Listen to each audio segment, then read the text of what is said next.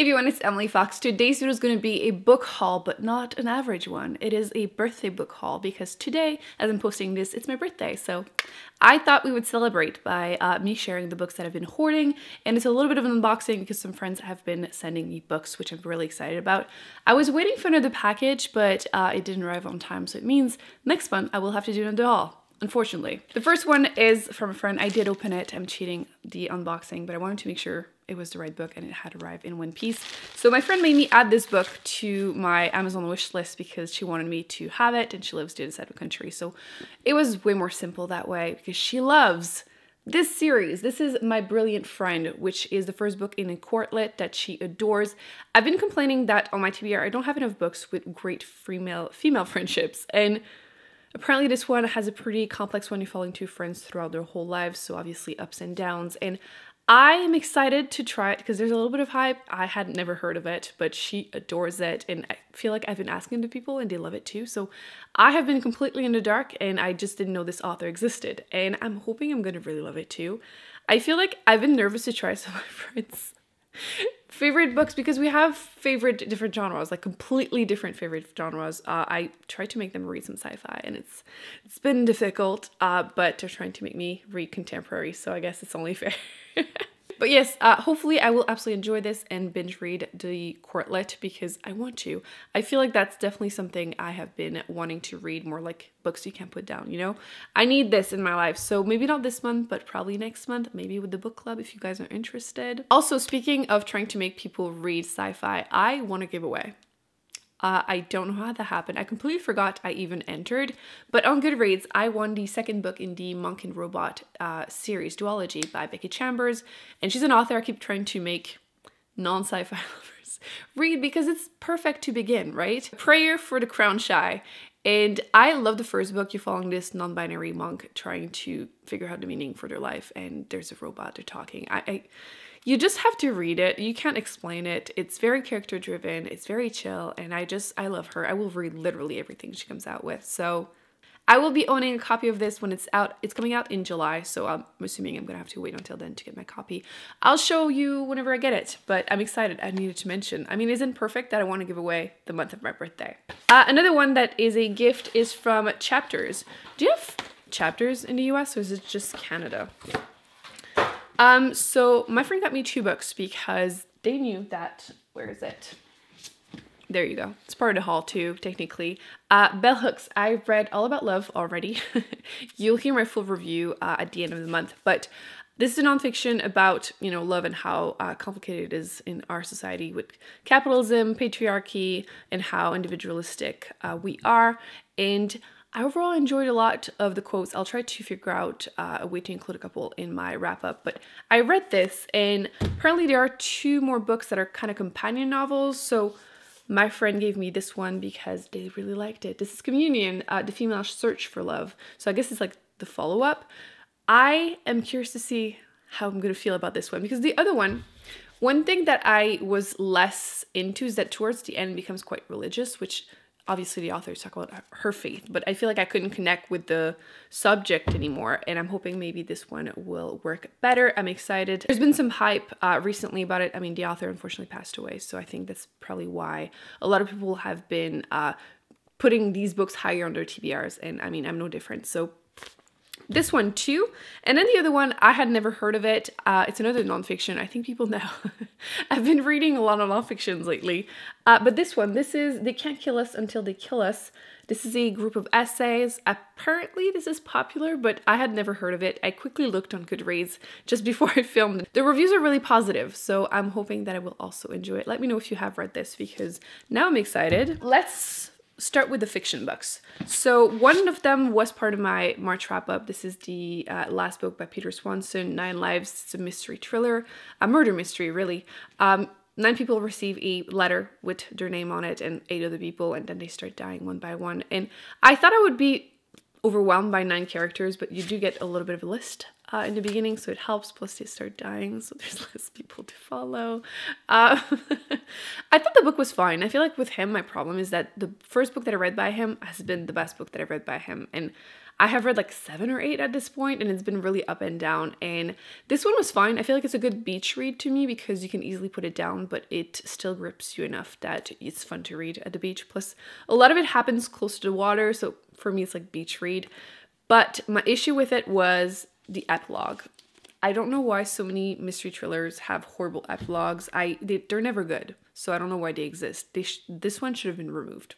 But yes, otherwise I was fine. I feel like it's probably going to be a book that divides people, but to me it was like a three stars. It was fine until the epilogue. oh, before I forgot, I got two ebooks. Um, the first one is Razorblade Tears because there's a lot of hype behind it. Apparently, a lot of people like this. Uh, both of them are actually mystery thrillers. And this one has really, really positive reviews, and I wanted to get it from my library. The waiting list was ridiculous. They didn't even have the audiobook, which a lot of you told me to get the audiobook, but I got the ebook because it was on sale for like $1.99, so now I have it. And the second one is Every Last Secret, which is part of the Goodreads reading challenge for this year, even though I said I wasn't doing it. But I looked at the list again, and out of like the 20, I think I've read like eight or nine already. So, I mean, I might as well read a couple more. to let you know which ones were worth it. Uh, they're new releases from last year, and uh, it's been really hit and miss so far, but hopefully these two will work. I think the other one, was it this year or the year prior? Yes, 2021. So I was right. So both of them, I guess, are part of my Goodreads reading challenge that I said I wasn't doing. uh, speaking of which, I also wanted to kind of do it for fantasy just because this year was the first time, or last year was the first time that I had read none of the contestant in the fantasy section, which has never happened. I don't know how that happened, but I've been trying to read a couple because they're new releases, and some of them do have a little bit of hype, including this one, which is a Master of Djinn, which I just want to try it because the reviews have been positive and it has been recommended to me. So when I saw it at the used bookstore, I had no choice. Another one that I was excited to find was this one. This is Shutter Island. I've been trying to read like popular books, including ones that were made into movies. I've obviously watched the movies, but I never read the book, so I'm hoping that the book will be even better.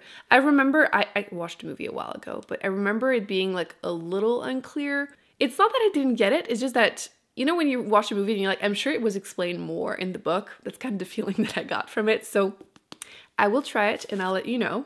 One that has been recommended to me so many times, but the library waiting list was just ridiculous, is this one. So I decided, you know what? It's there. Let me grab it.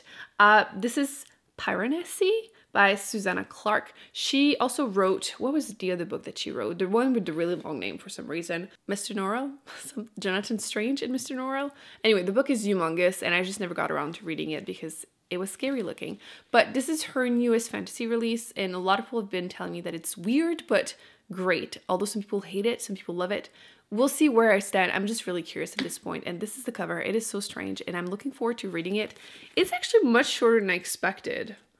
It's like 250 pages, so I can totally read this and I'll let you know how I stand because again, people seem to be really divided. When that's the case, I just I get too curious and I want to figure out where I stand. It just I need to. It's it's a problem sometimes. Um, I think this is the last fiction book. I have been trying to read some of the most popular work of popular authors I've never tried so I can decide if the author's for me or not. And one author that was suggested that I do that with is John Marrs. This is the one. I think this is the most popular work, so I try to like pick, you know, two or three that are their most popular work and I can decide. But yes, I had a few uh, ebooks by him. I think I have like The Passengers, which I think is the second one with this one. So I couldn't like read that one without reading that one or I would have spoilers. So I saw it, I grabbed it, and I will hopefully enjoy it as much as everyone else. I believe they're like all like murder mystery thrillers, so we'll see. Uh, a few nonfiction. I've been trying to find topics that are interesting. The only thing is that it's difficult to find used nonfictions that I'm still interested in. I feel like the most recent releases are the most interesting, and I use my library for that. But the waiting lists are very long, and I do like to own copies of the ones that I really enjoyed. But I saw this one, and I just needed to grab this. This is The Girls Who Went Away The Hidden History of Women Who Surrendered Children for Adoption in Decades Before Roe versus Wade, which I think that with everything that's going on currently in the US, it's extremely relevant. I think this might be a very interesting topic. I mean, I live in Canada, which is different, but I feel like Canada is like always a few years after the US. So hopefully uh, we don't need we don't need that. Uh, but yes, I thought it would be interesting to read more about their stories, This one I don't know a lot about, but it was recommended personally to me when I said I was wanting to read more nonfiction. This is Debt, the first 5,000 years. And apparently, this author is just really, really great. And this was so much thicker than I expected, but it was recommended to me. So when I saw it on the shelf, like so bright, I was like, this is a sign that I need to own this. So this is basically about like human history of like credit systems. So that sounds really thick and like heavy of a topic, but apparently it's really good. So I'm a little nervous, as you can tell. And because a lot of the nonfictions that I pick up tend to have very serious topics, I saw these two and they seemed lighter, so I thought maybe that could be fun also. Uh, the first one is Survival of the Friendliest, which is about understanding our origins and rediscovering our common humanity, which I think is really important. I think it's because I just read All About Love by Bell Hooks, but I feel like our society is so individualistic and I feel like she mentions how our lack of community is obviously preventing us from really, you know, getting the love that we need. And I feel like this might be something that uh, helps me, us. So I'll let you know how I feel about it. But I just like the cover. Let's be real. It's so cute. Um, and then the other one on a similar topic is this one. This is Together, the Healing Power of Human Connection in a sometimes lonely world. I'm always a little nervous when I see like healing in like nonfiction category because I am not religious or like spiritual whatsoever. So that always makes me nervous. But I saw that it's uh, from the 19th Surgeon General of the United States, so that that might be more safe for me. But like I said, it's a topic that I'm really interested in. So hopefully I enjoy that one. I will keep you updated. And I believe this is last but not least. I got that one purely based on the cover. I'm hoping it's good. I just refuse to look up reviews because if the reviews are negative, I'm gonna be sad. Just, just look at the cover. Isn't it a mood? Um, too much. How Victorian constraint still bind women today.